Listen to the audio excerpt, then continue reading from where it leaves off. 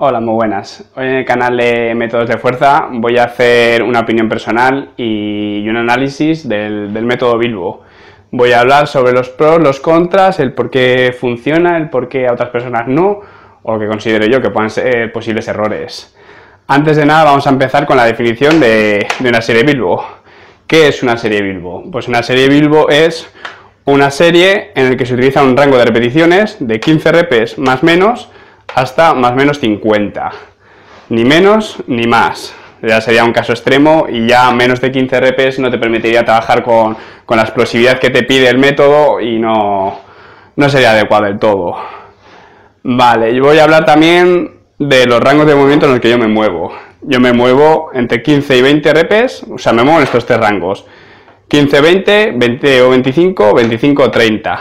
Utilizo estos, el primer día cogería a lo mejor un peso que pueda hacer 15 repes y si se trata de mejorar hasta llegar a 20. De 20 hasta llegar a 25, de 25 hasta llegar a 30. Como ya sabéis que eh, funciona este método que consiste en, en mejorar repeticiones. Voy a hablar de los tips que considero yo más importantes del método. O sea, no aparte hay que hacer las repeticiones y ya está, sino estos tips son importantes para, para hacer bien el método, vamos, para hacer bien esta serie Bilbo. Esos tips es que la serie tiene que ser lo más, lo más explosiva posible. Siempre desde la técnica, siempre con calidad para no lesionarnos, pero tiene que ser explosiva. No sirve nada mejorar repes si no las mejoramos eh, a base de, de, ser más explosivos. Porque si no, moverte en repes tan altas sin mejorar en explosividad no se va a transferir luego a fuerza máxima. Vale, ese sería un tip muy importante. Otro que la gente comete, es un fallo muy importante, es rebotar. O sea, hay que trabajar sin rebote. ¿Por qué te se tiende tanto a rebotar, en la serie Bilbo? Porque al ser unos pesos relativamente bajos a tu máxima, sueles trabajar en, en rangos altos, pues con ese peso es más fácil rebotar y es más fácil hacer esta pequeña trampa porque si tú trabajas con rebote con estos pesos bajos, cuando luego lo quieras transferir a fuerza máxima, no, con fuerza máxima no, rebota ni, ni chus. Entonces, importante, trabajar sin rebote. Otro punto muy importante es este método se beneficia mucho de la hipertrofia muscular, ¿vale?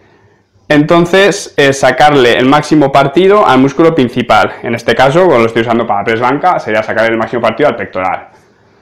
Porque ya he dicho que este método se beneficia mucho de la, hipertrofia y, hay que intentar, pues a lo mejor hacer un agarre bastante abierto, intentar eso, intentar sacar el máximo partido al, pectoral. Y el último eh, punto importante es un rango de movimiento completo. ¿Por qué? Porque a más rango de movimiento, más trabaja, más, más trabaja el pectoral, más trabaja el músculo, porque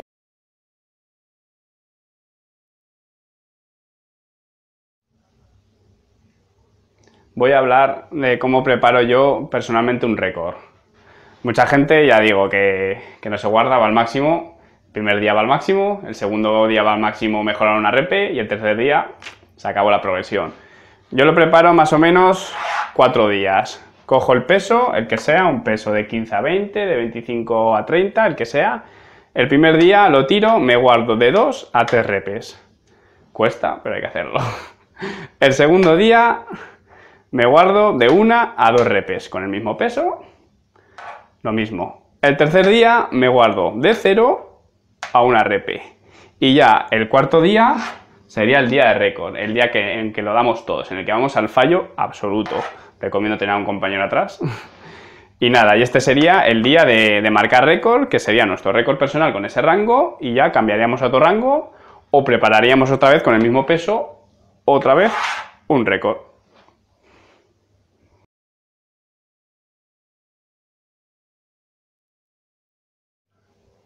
Voy a hablar de los fallos que, yo considero más, más, habitual, más habituales de la gente, que algunos es posible que yo también haya cometido. Bueno, lo que hablaba antes, rebotar. No se puede rebotar. No se debe rebotar. Es un fallo muy importante porque es una manera de engañarte que luego en la fuerza máxima no se va a transferir. Mejorar modificando la técnica. Tú empiezas con una técnica, marcas un récord y superas ese récord por hacer arqueo o por modificar la técnica. No, eso es engañarte a ti mismo.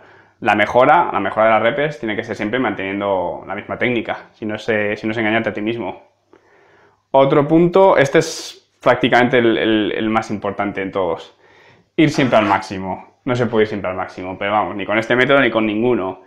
Y en este la gente se pica mucho e intenta siempre querer hacer más repes, más repes, más repes y no todos los días son iguales, ni todos los días estamos igual de bien. Y no se puede ir siempre al máximo. Hay que ir guardándose y, utilizar la autorregulación y, aguantarse las ganas de, de ir siempre al máximo, que a muchos les cuesta.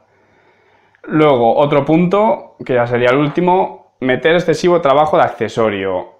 Esa serie a altas repes, de manera explosiva, te deja que después de hacerla te puedes ir para casa. La verdad es que has trabajado suficiente. Pues hay que meter, o sea, un trabajo minimalista, nada, lo mínimo. Hay que meter y hay que hilar muy fino para no pasarnos con, con el volumen de entrenamiento porque la fatiga sería muy, muy alta.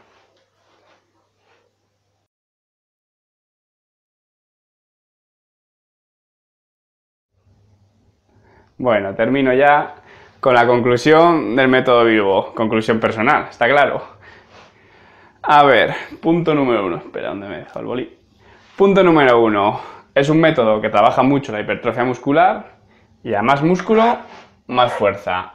Está claro que la fuerza se gana de muchas maneras, mejorando la técnica o mejorando la eficiencia del sistema nervioso, etcétera. Pero está claro que una de esas maneras también es más músculo, más fuerza. Más sección transversal del músculo se equivale normalmente en más fuerza. Es un método lento, pero seguro, que este punto nos llevaría al último punto que luego lo explicaré. Altas repes, alto tonelaje. Si calculáis el, el tonelaje que sale después de un entrenamiento Bilbo, es un tonelaje alto. Este punto nos llevaría a este. Alto tonelaje, mucha fatiga muscular, supercompensamos, más músculo, más fuerza. Están unidos esos dos puntos. Trabaja mucho la explosividad, importantísimo. La explosividad es importantísimo para la fuerza máxima. Y luego, el último punto, que son pequeñas mejoras, progresión sostenible. ¿Qué quiere decir pequeñas mejoras?